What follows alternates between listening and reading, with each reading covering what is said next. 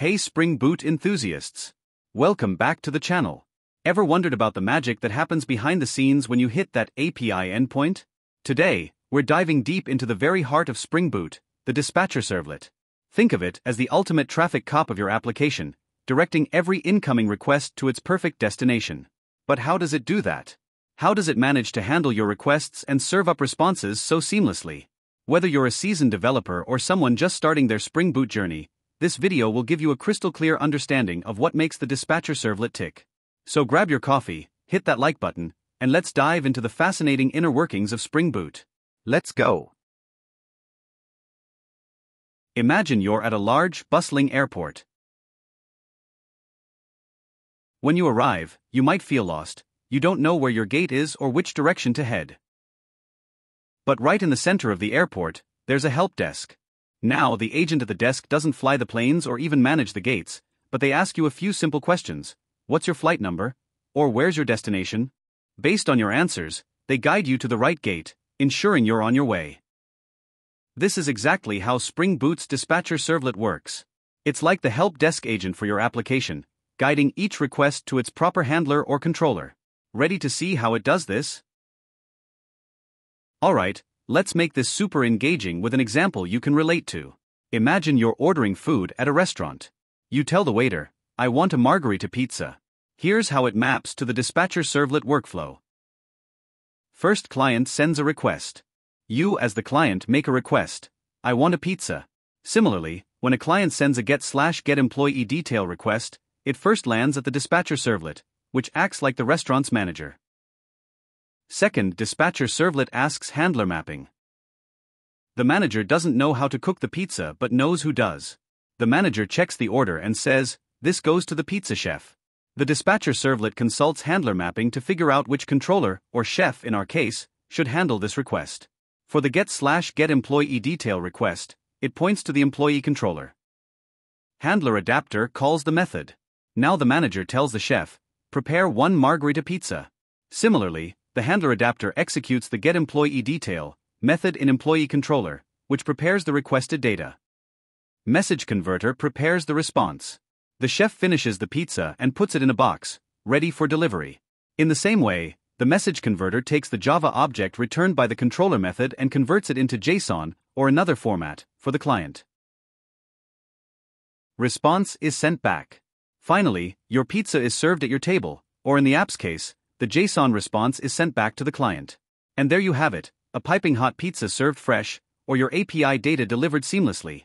Sparkles, the dispatcher servlet, is the restaurant manager that orchestrates the entire flow. Without it, your request would be lost in chaos. Now, let's take a look at the code behind the scenes that brings this process to life.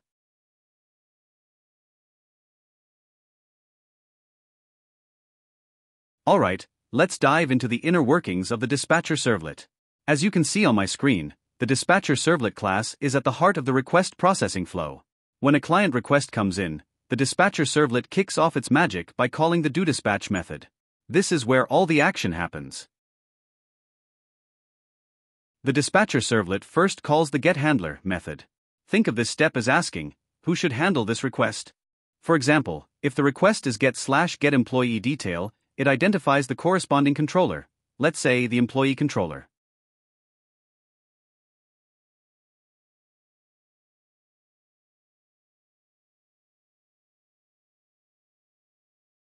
Once the handler controller is identified, the dispatcher servlet calls the getHandlerAdapter method.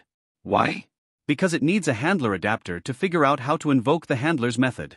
Think of the handler adapter as the instruction manual that tells the dispatcher servlet how to interact with the handler.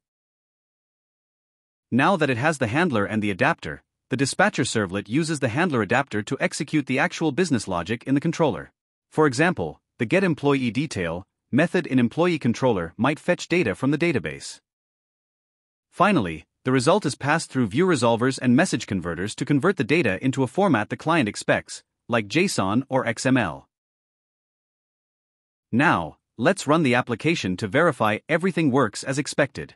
But before we do that, let's enable detailed logs to see the magic happening step by step.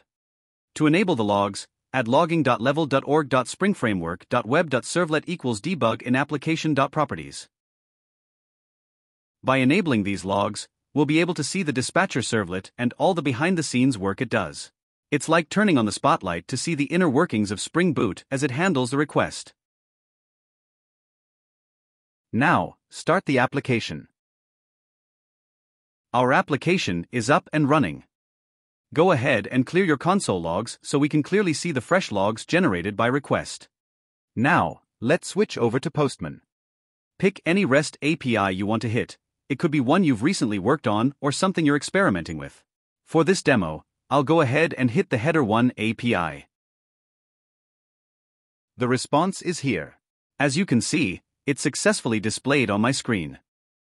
Now, let's switch over to IntelliJ and take a closer look at the logs to understand how this magic happened behind the scenes. Alright, now let's take a look at the logs together. As you can see on my screen, the dispatcher servlet has been initialized. This happens only for the first request, as it sets up all the configurations needed for the application to handle incoming requests smoothly.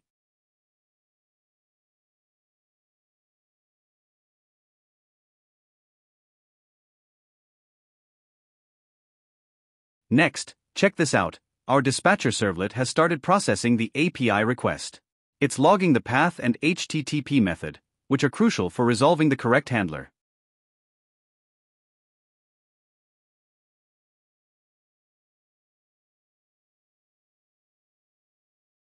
Now, moving further in the logs, you can clearly see it has identified the handler for this request, which is our demo controller.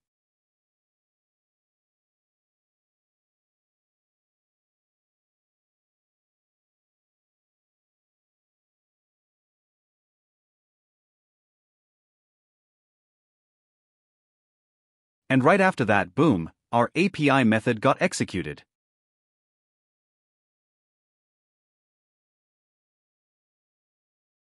Finally, notice how the dispatcher servlet logs the status code before sending the response back to the client. This shows the full journey of our request, from entering the dispatcher servlet to reaching the right controller and sending back the response. Isn't it incredible how Spring Boot manages this entire flow for us behind the scenes? This is what makes it such a powerful framework. If you want to dive even deeper into the process and see exactly what's happening step by step, you can add debug points in your code and start the application in debug mode. This way, you can pause the execution at critical points, like when the dispatcher servlet is resolving the handler or when the controller method is called, and analyze the flow in detail.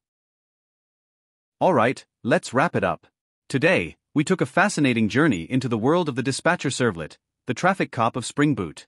We saw how it seamlessly handles incoming requests, resolves the right handlers, and sends responses back to the client. Pretty amazing, right? We also dove into the logs to uncover what happens behind the scenes and even explored how you can debug your application to see every detail in action. If you enjoyed this session and learned something new, don't forget to smash that like button and subscribe to the channel for more developer friendly, easy to follow Spring Boot tutorials. Also, hit that bell icon so you're notified when we release our next video, where we'll break down even more exciting Spring Boot concepts. Until then, Keep learning, keep building, and happy coding. See you in the next one.